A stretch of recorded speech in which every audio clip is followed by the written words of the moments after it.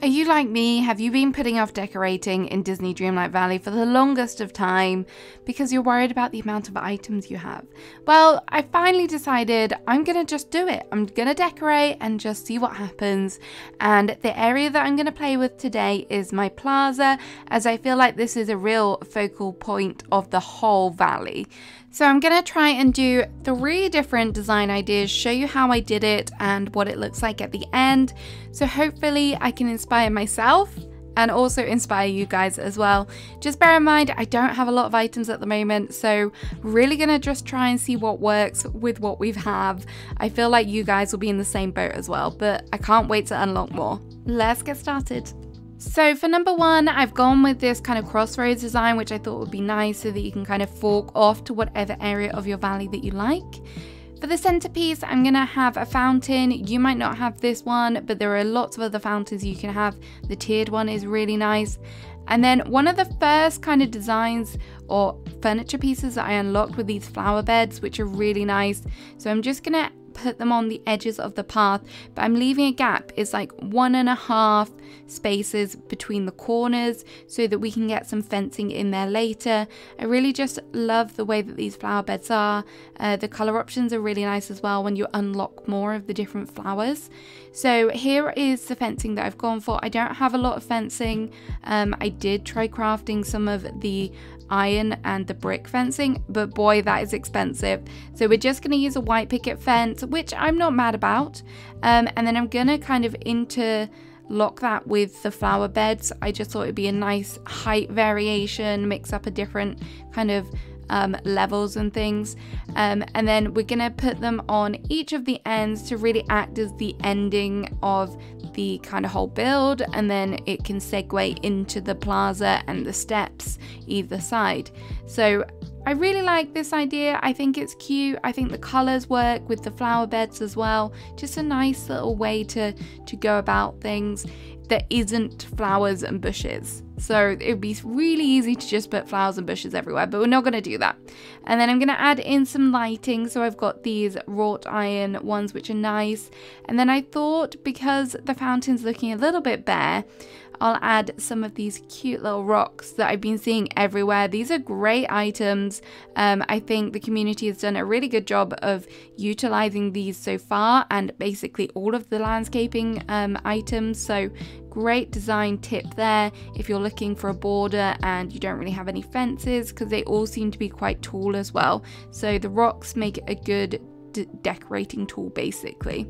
Um, I have kind of mixed up the directions that they're facing just to add a bit of interest here, um, but they do work really nicely either way. You could have them all uniformed or all mixed up, whatever works for you. And then I thought it'd be nice to add in some benches. These are really the only benches that I've got at the moment. Um, I have seen some really nice frozen ones, which I can't wait to get my hand on. They look really, really nice. Um, so that's kind of it for furniture wise. So really the only furniture you need is a fountain, two benches, four street lamps, some fencing and some flower beds. Um, and then the rest is all going to be foliage. So this stuff is what is free in the game. You can have unlimited of it. You don't need to craft it, which is great. And where I'm placing these, I'm trying to do it as like a diagonal. So I've got the fence and then diagonal behind that, I've got the plaza tree. And then behind that, I've got the light birch tree. We do not want that birch tree. we just want the small ones. So if you just change it out, if you're like, I don't want to use this, just put it down somewhere else and remove it later. So those are the trees. Now I'm going to add in some bushes. I don't necessarily like using the biome specific bushes I really like the Dazzle Beach ones just because they have white flowers on them, but I didn't think that that would be great for this build because there's some pops of blue in the flower beds, so I wanted to incorporate that in the bushes that I'm using. So I'm just, again, trying to do these on a bit of a diagonal, but they're either side of where the tree is, as you can see here. I don't know what difference it really makes, but it just makes me feel like I'm doing something that's symmetrical, and I feel like this build calls for a bit of symmetry, so I'm really trying to work that in. And then I've gone in with a normal bush. I couldn't decide which bush to use. I really wanted a bigger one, but I couldn't figure out which one it is. I guess over time we'll learn which ones are the bigger ones and which ones are the smaller ones, but when I look at this, I'm like, oh my gosh, there's just so many bushes. I can't decide which one to use. So um, yeah, we found one in the end. And again, this one went diagonally behind the light birch tree. I love this color of green. It's so luscious, so pretty, gorgeous. And then just making sure we can get it behind. Okay, and then the final thing that I want to add is some tall maple trees just to give the build some height. I know what maple tree I'm looking for. I'm wanting the one that kind of bows down and it curves. Um, so that's why I'm just randomly placing these down over here. There it is. That is the one that we want. And then not that one. Not that one. the trees, I feel like I wish there was an easier way to do this. Um, so they're nice. They're all really nice, but I want them to curve in so it kind of frames the whole area, which is why I'm being so specific. You might think, why are you being so nitpicky? But that's why. Because if you look, they like bow over the whole kind of um, portal area, so it looks really nice. And then down here, I'm just going to use some of the smaller ones. I don't, you, I mean, you could have it um, with the bendy ones as well, but these ones look and work fine as well. Okay, so here is what it looks like bird's eye view from above. As I say, I think it's a really nice, simple, quite a clean little plaza area. You've got some pops of colour with the flowers and the bushes, lots of green. You could add in your own little flowers as well. Makes perfect spot to sit down and watch the world go by. I'm quite happy with this one. It's not too bad. Let's see what we come up with next. Okay, next up, I decided to do like a marketplace area, quite rustic, barrels everywhere. Yes, this is going to fulfill my rustic barrel core need for this game. So I have, for this one, decided to try and curve my edges. This I first saw by Yili underscore cozy underscore games on Twitter amazing plaza build. If you're looking for more inspiration, go and check her out. It's beautiful. So for this, I've kind of laid down my path and then I'm going to add in the bushes to help create that illusion that is nice and curved. This hides all of the kind of sharp edges that's created by the paths. If you're not someone who likes squares and corners and things, then you should definitely give this a go. It does work, it does work really well. Mine is going to take more of an oval shape because I didn't want it to be too wide, didn't want it to be too big, and I wanted to get some trees in there. But it can work either way, it can work off for rounding off path corners when you're wanting to do like transition areas as well, so that's really nice. And so we're going to start building on the center area now. I've added added it added in the trellises for the entrance ways and then I'm going in with some lampposts because you need some lighting and then for the centerpiece I'm using the clock tower love this item fits with this idea wonderfully and then I'm going to add in tables, stools. I'm also going to get Kristoff stool in here, um, which is wonderful because we can't get one of the Mickey stools, uh, Mickey Goofy stools in here unfortunately. But I do like this one because it matches the roof, matches the other straws that you can actually craft. So that's really good and I think it works out really well. Then here is some barrels, obviously. I warned you, I gave you pre-warning that there would be lots of barrels in this build. so there's a few. Maybe I didn't go as over the top as I could have done.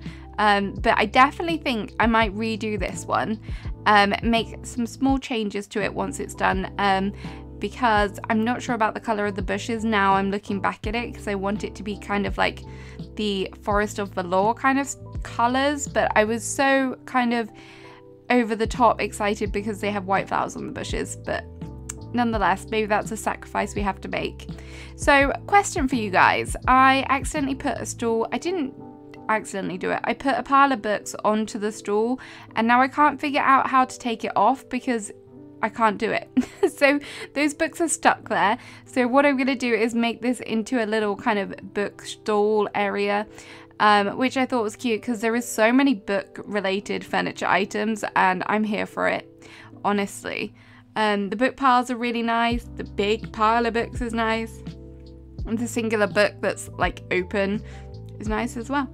So I think that's enough book talk. We're kind of, it's taking shape, this whole market area now, and I'm really liking the way that it's coming together. just need to get a few more areas done, get some smaller items in as well, just to kind of put on tables and things. It is a little bit disappointing as to how many items you can't actually put stuff on. It feels quite limited, and I don't know if that's just because we're used to Animal Crossing.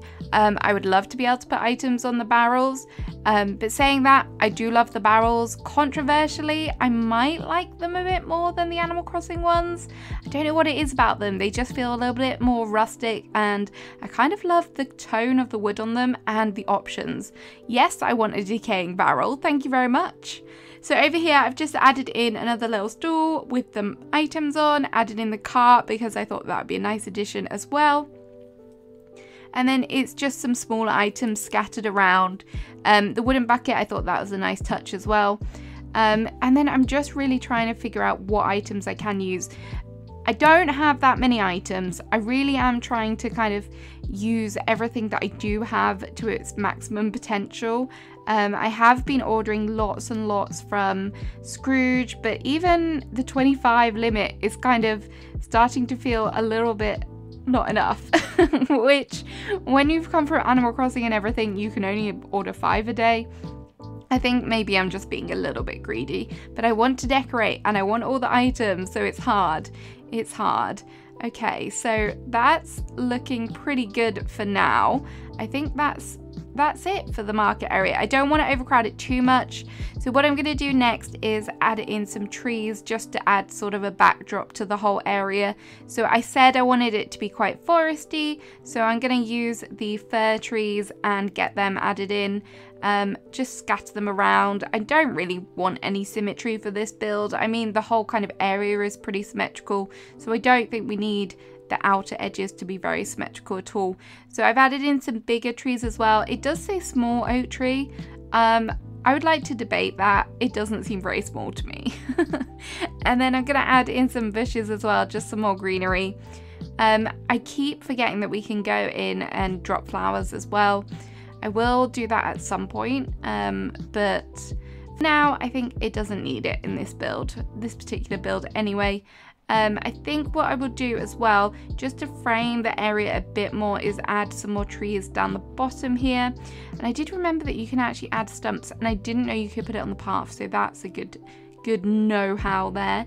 Um, I wanted to have a smaller tree, but they weren't quite right, so I did go back to the small oak trees. And then here it is. This is what it looks like finished. So I do really like the shape of this build. I really like all of the furniture that I've placed down. Not so sure about the bushes, but we'll live with them for now and then maybe we'll change them up later. Let me know what you think about this one. Would you like a market in your Dreamlight Valley? So for the final design idea, I thought it would be nice to do something a bit more square. So I came up with the idea of using these lovely topiary items that I got from Scrooge and doing a sort of walled garden idea. So I've laid out the path and left two spots for the topiaries. So that worked out perfectly. And then I'm going to use the trellises to help create that walled garden feel. These are such a nice item. Really love them. And the trellis arch is really nice as well. So I'm just going to put these on all of the corners because otherwise I would have been crafting all day. Even though we have bulk crafting, I think we would have needed quite a lot of these. Um, and we do want to add some sort of detail in here. So I'm just putting them on the corners. Um, I think this works quite nicely. So you get that pop of brown, but I really want this to be luscious and green. Lots of plants here. So this is what we're doing for now. And there we have it. And then the next thing I'm going to do is add in some benches just because you want somewhere to sit in your nice luscious garden. Um, and then these round planters, I just pop them down so that we could kind of conceal the area between where the path meets the actual kind of in-game plaza and the steps area because I don't like the join. The join isn't great. And then adding in some lights, did think about using the iron ones but thought these would be better. And then here comes the greenery. These small plaza hedges, I was like, I don't think I'm ever going to use these, but I think these are perfect for this build to add a backdrop to where the gaps are. And then I'm going to add in some trees as well just to help frame the area, make it look cute using those leaning trees. They're just wonderful, aren't they? Gorgeous. Um, and then I didn't want leaning trees down here, but I changed my mind. We're gonna have them down here as well, and just normal trees where the steps are. I got lucky. I got lucky with my trees. Um, wasn't too bad at all. Normally it's painful. And then just to add some more flowers, um, we're gonna have them in front of the hedges so that they're not just left bare. Um, I would like them a bit bigger. The gaps just didn't work out right, but hey, it still looks okay. And then I wasn't sure what else to add. I felt like it needed something else. So in the corners of where the trellises meet, I added in some of these small plaza trees. I'm not really a big fan of like topiary type things, but these work for this build for sure. So here is what it looks like. I think it turned out quite well. It takes up just the right amount of space. You can totally walk around it. I think it's just a nice kind of segue between the plaza and then down into the meadow, uh, meadow and it works really nicely. The topiary items really are the standout here. Gorgeous. So that's the end of the video. I hope you found this helpful. I hope you got inspired. I definitely am, and I'm definitely more motivated to do more decorating. And I can't wait to get my hands on some new items to do more build videos for you guys. So have a great rest of your day, and I'll see you again soon with another one. Bye bye.